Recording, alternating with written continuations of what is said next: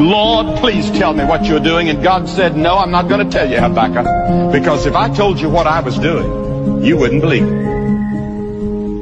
If God today told us what he's doing in the world, we wouldn't believe it.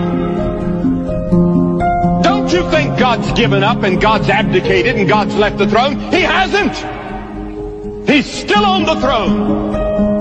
And those of us that know him put our trust in him and him alone. I don't put my trust in Washington. I don't put my trust in the United Nations.